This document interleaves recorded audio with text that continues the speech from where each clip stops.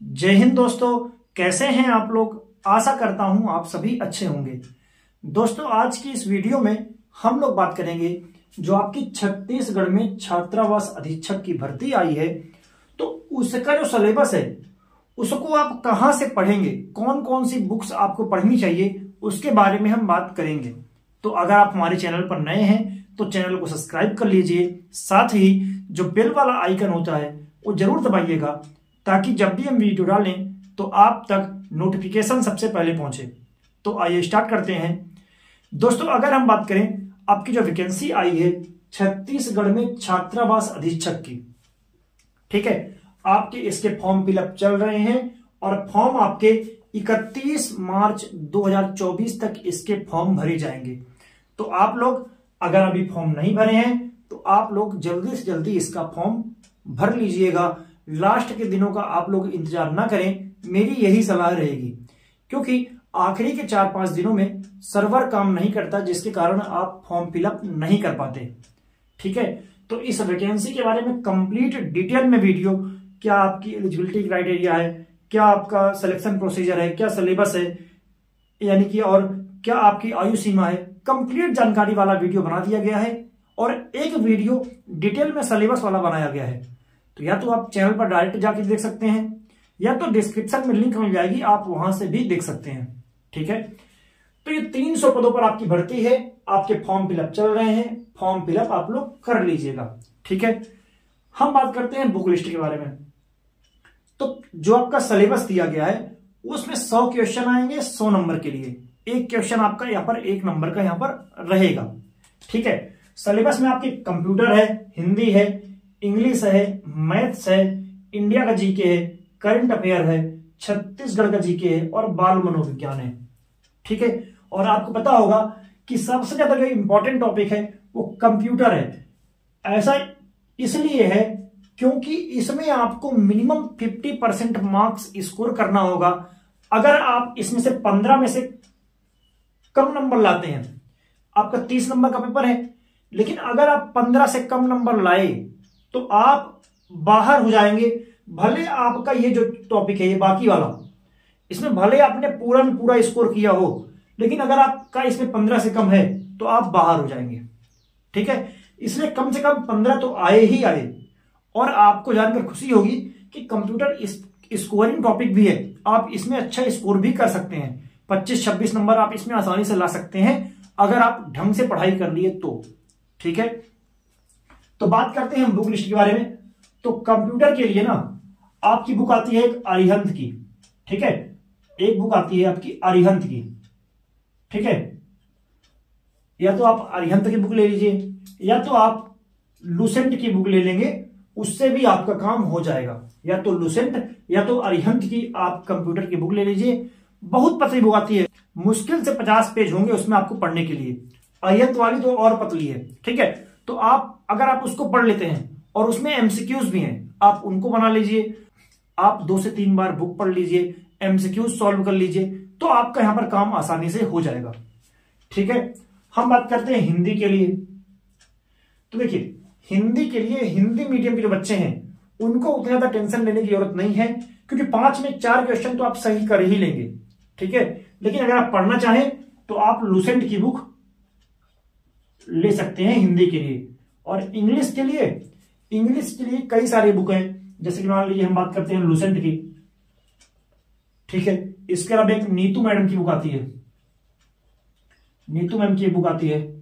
ठीक है? ठीक है? तो इस प्रकार कई सारी बुक आती है, लेकिन आपको केवल एक बुक लेना है। और अगर, ध्यान रखें, अगर आपके पास कोई और बुक है जिससे आप पढ़ रहे हैं पहले से तो आपको वही पढ़ना है। बदल नहीं जाना है फिर से। ठीक है? क्योंकि एक बार उसको पढ़ेंगे, एक बार इसको पढ़ेंगे तो कोई मतलब है नहीं। आप एक ही बुक को दो तीन बार पढ़ लेंगे तो ज़्यादा आपको काम करेगा वो। ठीक है? मैथ्स की बात करें, देखिए, मैथ्स इसमें दूसरा सबसे ज़्यादा इंपॉर्टेंट टॉपिक है और ज़्यादा स्कोरिंग भी है, पच्चीस नंबर का। ठीक है? कंप्यूटर आपका तीस नंबर का है और मैथ आपका पच्चीस नंबर का। ठीक है? तो मैथ्स के लिए क्या करेंगे आप पता है? या तो आप क्या करें? टॉपिक वाइज जैसे मान लीजिए आपको पढ़ना है प्रॉफिट लॉस ठीक है? मान लीजिए आपको पढ़ना है प्रॉफिट लॉस तो आप उसको क्या करेंगे? आप उसको सर्च करेंगे यूट्यूब पे और वहाँ से आप उसकी क्वेश्चन करेंगे, उसके कॉन्सेप्ट सीखेंगे, ठीक है? और अगर आप बुक लेना चाहते हैं तो बुक आप ले लीजिए किसकी? आर एस अग्रवाल सर की बुक आती है। या तो एस डी यादव सर की बुक आती है। ठीक है? तो कोई भी आप एक बुक इसमें से ले सकते हैं। लेकिन आपको केवल एक ही बुक लेना है, ये भी आप ध्यान रखेंगे। ठीक है? दोनों बुक आपको नहीं लेनी है, केवल एक बुक लेना है और उसका मल्टीपल टाइम डिवीज़न करना है। मैथ का डिटेल में सिलेबस बता दिया गया है कि ये ये टॉपिक पूछे जाएँगे। तो आपको केवल उन्हीं टॉपिक को पढ़ना है। सारे टॉपिक आपको पढ़ने की ज़रूरत नहीं है। जो टॉपिक्स उसमें लिखे हुए हैं, वही आपको पढ़ने हैं और कुछ नहीं पढ़ना है। ठीक है? हम बात करते हैं इंडिया का जीके। इसके लिए सब, सबसे बेहतरीन रामबाण बुक जो मानी जाती है, वो है लुसेंट की। ठीक है? लुसेंट की जो जीके की बुक आती है, उसको आप पढ़ेंगे और ज़्यादा मोटी भी नहीं है और आसानी से उसको आप पढ़ भी सकते हैं अगर आप चाहें तो। हालाँकि उस बुक को,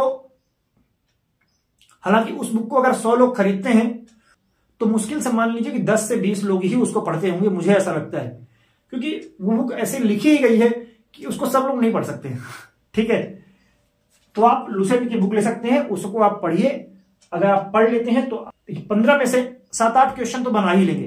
देखिए जीके ऐसा टॉपिक है, जिसमें पंद्रह में पंद्रह बनाना बहुत ही मुश्किल है, ठीक है? जो एक्स्ट्रा ऑर्डिनरी बच्चा होगा ना, वही बना पाएगा और शायद वो भी ना बना पाए, ठीक है? तो अगर सात आठ नंबर अगर आप इसमें ला लेते हैं तो बहुत अच्छा स्कोर माना जाएगा जीके में इंडिया जीके में, क्योंकि बहुत बड़ा सिलेबस होता है और उसको कवर करना बहुत ही मुश्किल, ठीक है?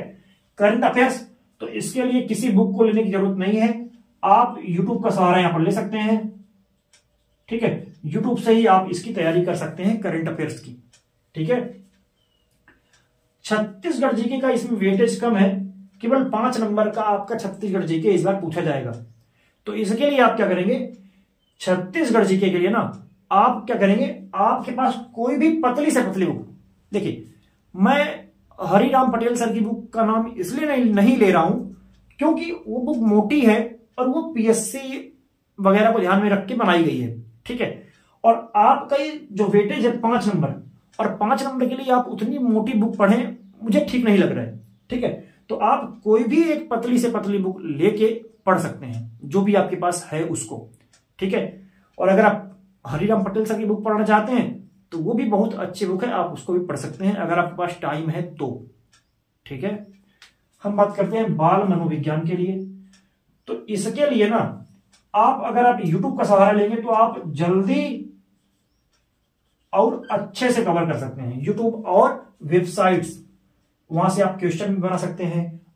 जो इनके प्रीवियस क्वेश्चन पूछे जाते हैं, बाल मनोविज्ञान के उनको आप सॉल्व कीजिए, उनके आप एमसीक्यूज बनाइए, उनको आप पढ़िए तो उससे आप आसानी से क्लियर कर सकते हैं जल्दी से जल्दी। ठीक है? तो ये आपका जो सिलेबस है उसको कहाँ से पढ़ना है, इसके बारे में एक छोटा सा वीडियो था, आपको समझ में आया होगा। अगर आपको वीडियो पसंद आता है तो वीडियो को लाइक करें और चैनल को सब्सक्राइब कर लीजिएगा। साथ ही बेल वाला जो आइकन है, वो भी ज़रूर दबाइए, ताकि आने वाले वीडियो का नोटिफिकेशन आप तक सबसे पहले पहुँचे। और साथ ही, अगर आपको कोई भी डाउट है तो आप कमेंट में पूछ सकते हैं। ठीक है? धन्यवाद।